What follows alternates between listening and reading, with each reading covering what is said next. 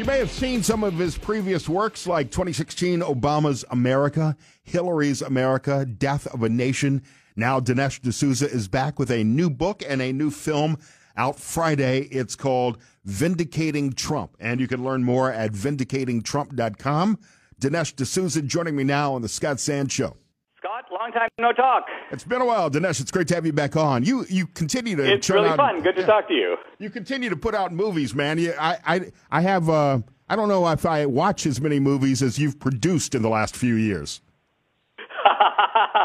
well, this this is a really important one, and uh, let's let's talk about it when you're ready. Yeah, uh, vindicating Trump. It's going to be released on Friday the 27th. Uh, what is this about? Are you looking at, at all of the legal allegations against him? Are you looking at all the accusations of racism and, and all the other tropes that we hear about Donald Trump? You know, it's, it's all in there. Let's put it this way the, the movie covers four types of assassination. It's not a bad way to put it. There's character assassination. There is political assassination. This would be Russia collusion, the effort to frame Trump as a Russian spy. And then there is lawfare. Now, lawfare that comes out of warfare, so it's legal assassination, trying to lock the guy up for life, and then, of course, actual assassination, now two assassination attempts. So look at the lengths to which the left, the Democrats, the Trump haters will go to try to put this guy out. It's got to be something about him that makes him a very scary guy, and that's what this movie brings out. What is it about Trump? That they're fixated on Trump. I mean, you know, no one's trying to assassinate Paul Ryan. Uh, no one's trying to, uh, you know, assassinate Mitt Romney. It's something about Trump. He's the larger than life aspect of this guy. And the centerpiece of this film, Scott, is a is a one on one. It's a riveting one on one with Trump, in which I I try to bring out a private dimension of the man that is not often seen in the public arena. And I'm happy to say I think I'm able to do that. When, when you say what is it about the man, I mean one of the things that that Karine Jean Pierre from the podium or even Hillary Clinton and Kamala Harris have all said is that, well, he brings it upon himself by saying outrageous and racist things. Well, this is the point. Uh, uh, you are right, and, and they are right, that there is a there's a connection between the character assassination and the actual assassination. But it's it's not Trump's character assassination; it's the character assassination of Trump. I mean, if you could interview these two guys who, who were trying to kill Trump, I'm sure they would say something like this. You know, Trump is like Hitler circa 1933. Think how great it would have been for the world and for Germany if they had gotten rid of Hitler before he was able to do all the atrocities that he did. I'm a hero because of what I'm trying to do. I have the courage to do what other people will only talk about. Because if Joe Biden says and Kamala Harris says, this man is an existential threat to democracy in the country, well, then we should want him taken out. The, you know, it makes no sense to say, in fact, some people will say things like, well, I don't like Trump, but, you know, I like his policies, or he needs to shut his mouth. I make the argument in this film and book that we don't need to rehabilitate Trump. For this crisis that we're facing as a country, he's the right guy. His combination of qualities, good and bad, the mixture of it is essential. It's kind of like saying, you know, you can't go, you couldn't go to Lincoln in, in the Civil War and say, you know, you got to pull General Grant out from the fighting because, you know what? He's a bum. He uses all kinds of bad language. He bankrupted his father's store. He cusses a lot. He, he's an alcoholic. Lincoln would be like, who cares? If you want the Union armies to win, he's our guy that's the case I'm making for Trump. That in this situation, he's the right. He's not just the right guy. He's maybe the only guy. Well, and eh, I mean, he's almost 80 years old. You're not going to change a man at, at this age, at this point. You might you might be able to get him to tone down. He's an entertainer. He certainly knows how to present himself in public, but you're not going to change who he is at his core. And and that's what so many Americans fell in love with about Donald Trump in 2015, 2016. He's a bit of a stand-up comedian. I mean, who says the phrase "dictator for a day"? I mean, that's just that's the kind of thing that comes out of a stand-up comedian, and and yet Trump knows it's going to rile the other side, uh, and that's why he says it. That's why he puts out memes that are like Trump 24, Trump 28, Trump 32. So he knows how to gall the other side. That's for sure. But you know, if you take a little more sober look and ask the question, hey, listen, you keep saying Trump's going to be a you know a dictator. Well, he was in office, and what dictatorial things did he do? How many how many leading Democrats did he lock up? Well, none. You, none. You, but but you would say some some of his critics would claim that January sixth was an attempted coup d'état to to remain in power and to keep the the White House. And and you and I have had these conversations before. We're talking to Dinesh D'Souza, vindicating Trump is out on Friday the 27th. How would you address those claims? That that January 6th was was him beginning that dictatorial phase. So here's the here's the question I put directly to Trump, and I, you can see the surprise on his face and the in, interest on his face, and I'll leave it for you to watch the movie to see how he responds. But here's the question: I say to him this. I have looked at everything you said on January 6th, and as far as I can see, you never said go inside the Capitol, stop the count, take over the building. In other words, you didn't call for an insurrection. And, I, and, and then I add, but if you had, there would have been one. And I say, and there would be one now if you called for one. And I let Trump respond to that. Because what I'm getting at there is not the so what I think is the sort of simple-minded question is, did Trump instigate an insurrection? There was no insurrection. He didn't instigate it. But he does have that kind of power. And I think that gets to the heart of why the left is so terrified of him and only him. Because they know any other Republican who is facing two criminal indictments, forget about 91, 91 charges, would have fled the field would be gone, would never be heard from again. So Trump's ability to take this kind of attack and not only endure it, but forge ahead. He somehow manages, he does rope a dope, he somehow, these things don't get him, and he's still standing. And even after the second assassination attempt, he's, you know, what is his reaction? He's annoyed that his golf game is interrupted. He's like, I was about to make an amazing putt, and they're like dragging me off the golf course because there's a man at the next hole trying to kill me. I, uh, so nobody up, is like Trump. This is a very unusual man. Look, if I, as poorly as I golf, if I have a chance for birdie, I'm going to want to stay on the hole too. We're talking to Dinesh D'Souza here on the Stat Well, that's, show. that's called the Trumpian spirit. I try to have a little of it myself. so, uh, as you're looking at this perception that, that many people may have of Donald Trump, is are the people who support him to blame, like like the crazies, like like Catturd on, on social media, or or Laura Loomer and Marjorie Taylor Greene, Kari Lake, are, are they to blame for for some of this perception of Donald Trump? The country is polarized, and, and Trump didn't cause it. I mean, it's even more accurate to say it caused him. And that has, has produced, I will say, there are a lot of kooks on, on both sides. I mean, anyone who goes to an Antifa rally or even to the Democratic convention, you can just see the parade of kooks. It's not on one side. It happens to be now on both sides. and so, yes, Trump does have some of those people. They are wild, you know, and crazy Trumpsters, if you will. Uh, Reagan had that as well. You know, at one point, someone came up to Reagan and said, "Well, you know, the Ku Klux Klan is a, the Ku Klux Klan has endorsed you." Uh, as if to say Reagan should be freaked out. And Reagan goes, Well, yeah, but guess what? I haven't endorsed them. So that's the point to keep in mind. You want to judge Trump by what Trump is and says and does, and not necessarily by what some Trumpster does. Dinesh D'Souza here on the Scott Sands Show. The book and the movie, Vindicating Trump. You can learn more at vindicatingtrump.com, including where to see it starting Friday, this Friday, the 27th. Uh, Dinesh, in vindicating Trump, you tell us that you look at the four ways his opponents have tried to assassinate Trump. Of those four ways, and we're talking about character assassination, political assassination, uh, actual assassination, lawfare. Of those four ways, what's been the most dangerous or even the most successful attempt to assassinate Trump? Well, the the character assassination is how it started, uh, and then it escalated into the lawfare.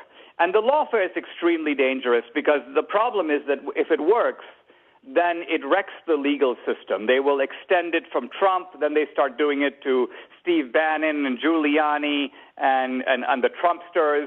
Uh, and then pretty soon it's open season. You know, this idea of going after someone by finding a politically hostile jurisdiction, picking a jury that already hates you, and then appealing to their prejudices to get them to lock you up it's a dangerous game, and quite honestly, it's a game you know that both sides can play.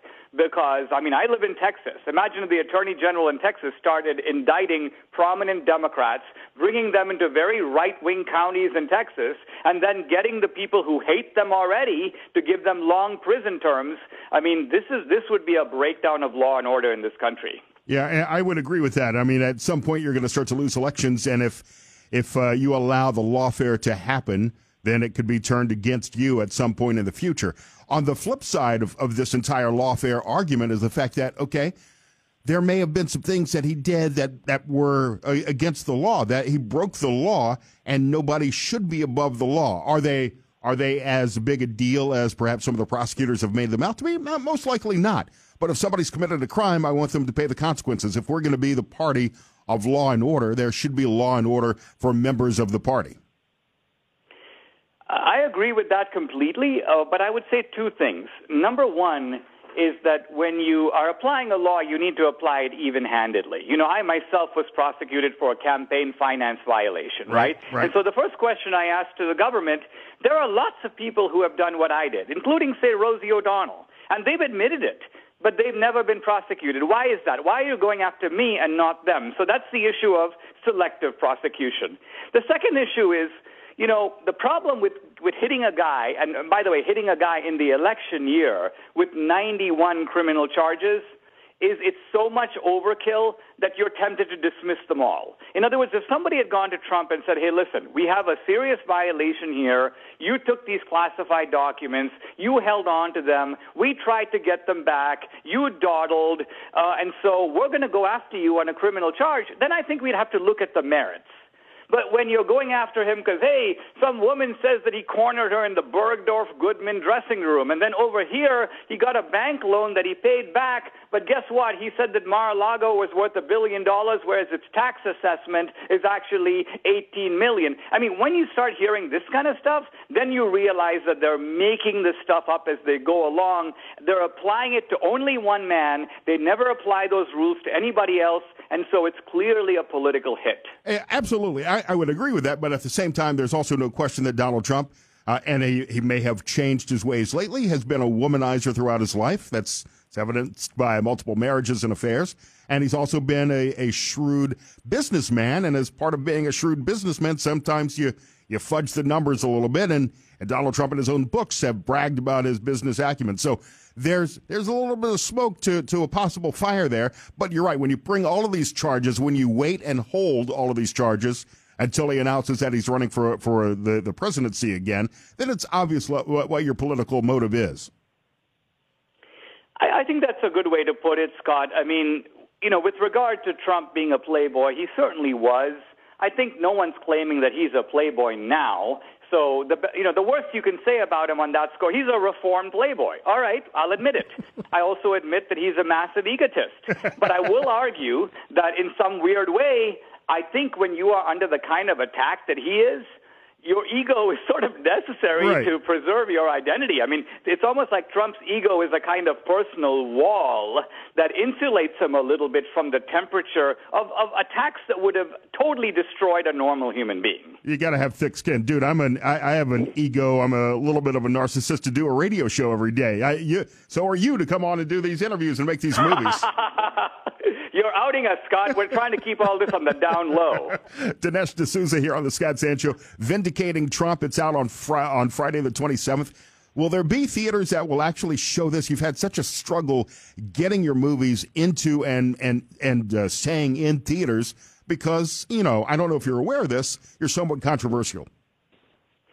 I think you know, Scott. To be honest, uh, after right in the COVID era, theaters were not in a good way, and so we had we released some of our couple of our movies by doing theatrical buyouts and so on. But no, this movie is opening normally in theaters. We'll have 800 to 1,000 theaters.